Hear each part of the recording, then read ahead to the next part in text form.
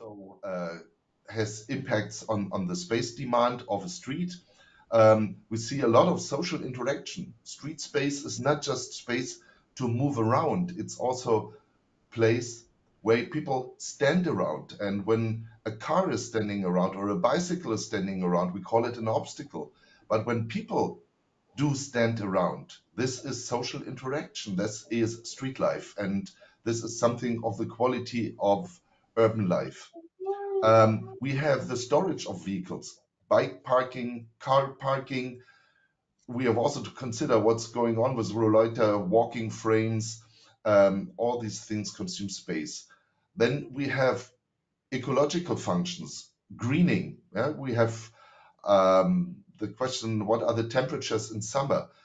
How do we deal with rainwater? So green and blue plants. It's all in the very limited space. We have art, we have housing, we have all the things together um, on very limited space.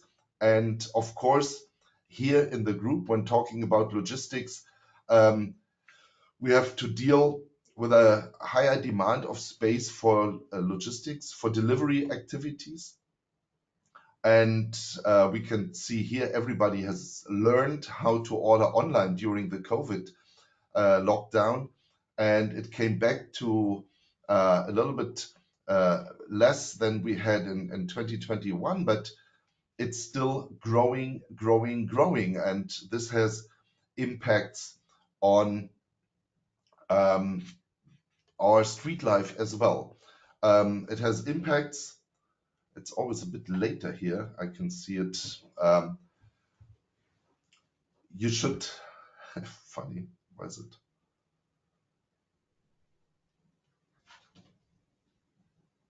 Uh, Michael, I actually cannot see your presentation, so I, I wanted you to see that I.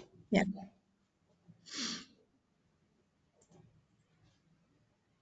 It confuses me a bit. I, am I'm, I'm sharing now, um, um, Michael, I'm sharing. It's not switching forward. Just let me check why.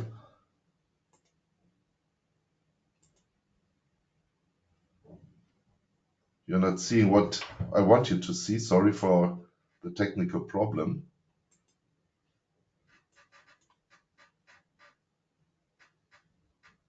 Yeah, that's what you should see. So the last mile is a real challenge uh, for everybody. Um, we see here the the problems, uh, how it's interfering with the cycle, uh, with cycling, or with public transport. These vehicles being parked just or being uh, left for the time of the delivery uh, on the on the lane space. So that's uh, a big problem. And um, here we see the dream that the delivery zone is available. And here we see the reality um, that these delivery zones are quite often occupied. Um, this is a big problem, in particular in Germany, as the fines uh, and the enforcement level is pretty low. Um, one of the reasons um, is that simply the existing car fleet, even though it's slightly growing, consumes so much more space than before. Here we see one of the problems, and um, simply that a, a, vehicle like the Volkswagen Golf grew like like many many other car types about half a meter in length and 20 centimeters in width. The average growth um, of the European car fleet is um, over the last 20 years 20 centimeters and all together end to end the car fleet now consumes without any vehicle more already 50,000 kilometers road space end to end in the EU. So uh, this is a, a problem that cities uh, face and where we in fact don't have a good answer. Um, and that's the situation that we have. Um, that's not really now delivery, but it's part of logistics. All the larger vehicles having problems in the narrow streets due to uh, illegal parking or the increasing size of vehicles, not leaving enough space.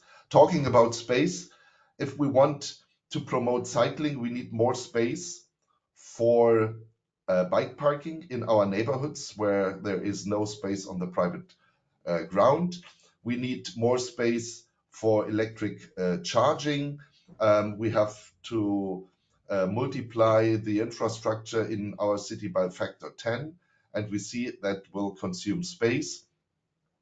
It's also a problem of the width of vehicles when the cable uh, collecting cable is uh, going into the lane and exactly on the height of um, the steering bar of bicycles. All the so-called micro-mobility uh, vehicles should have stations, um, including the cargo bikes and uh, also car sharing, which is um, a big relief here um, in terms of car ownership, but it requires also space. And of course, social communication and all the uh, things like a street cafe that we see on the bottom right, um, street space as, as space for kids to play, um, parklets, that all require space. Talking about delivery, here's some um, delivery space uh, example in Paris, where you have these livraison um, areas, and here we see in a narrow street that it works. There are also dedicated zones, delivery zones for cargo bikes, which I think is a quite interesting example. Um, Barcelona, where some some of us uh, just met last week, uh, we have the delivery zones in uh, Barcelona, very well organized, 30 minutes, and already uh, showing how regulation and enforcement are two parts of the solution. Otherwise, um, it doesn't work as it does. The situation in Germany is that we don't have a dedicated sign for delivery zone, but we will get it. And so there's a revision of the German Highway Code. Uh, the delivery zone will be introduced. Um, it will only work with enforcement. And um, here you see the reaction of uh, the main big uh, tabloid in uh, Germany when we converted a car parking zone into a delivery zone for eco uh, for for low emission vehicles. And you see uh, the headline says car drivers are annoyed by eco parking space and that eco parking space is a delivery zone. So how to reclaim street space then? That's the, the big topic. And of course, looking first the, the, the modal choice for the daily trips. Bremen is not bad, but we have the problems um, in our street space still with the number of cars. Bike logistics is one of the answers in the logistics area, so smaller vehicles. And here we see the micro hub uh, in the downtown area. And quite interesting and not really expected by everybody is that it's used for heavy items. So we have uh, 68, uh, 63.8 average weight uh, kilograms per shipment, which uh, shows it's not only for small items.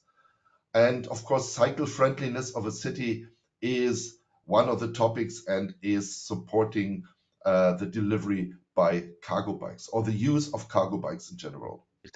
Talking uh, as a result of ULACs, um, impacts of what we call pri private so what private households And we have to see that in Germany, 30% of all trips are related to shopping, that makes 10% of the transport-related CO2 emission. And the question was, what's the potential for cargo bikes? And especially cargo bike sharing?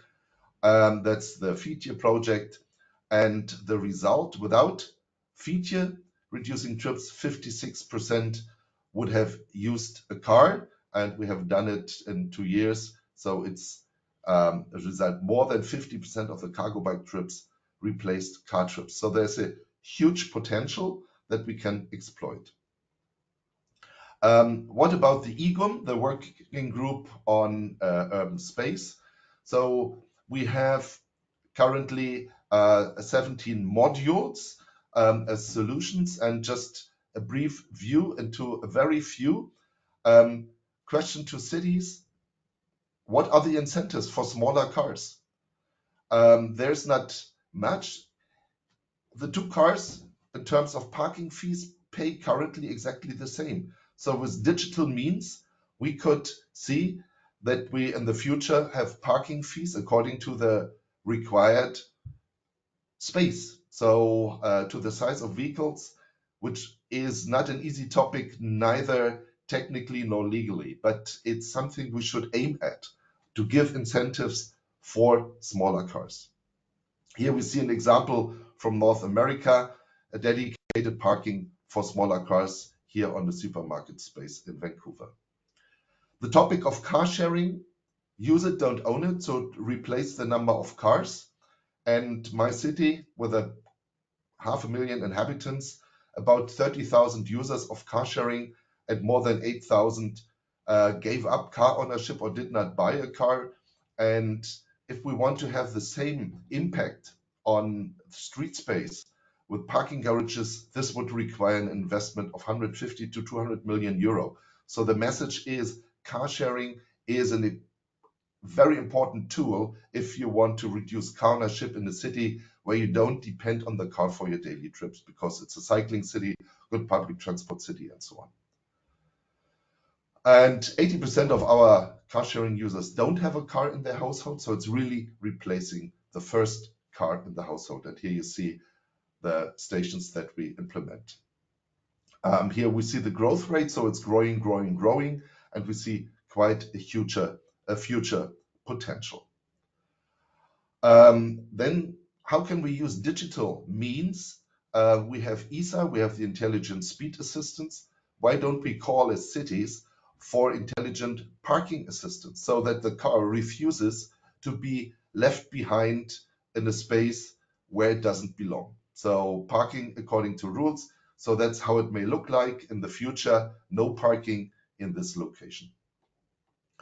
Yeah, and this is just an example out of the 17 modules that we have. These other rather spectacular um, examples. And with that, I would like to thank you for your attention and hope that we can continue this exchange uh, around the EGUM as well.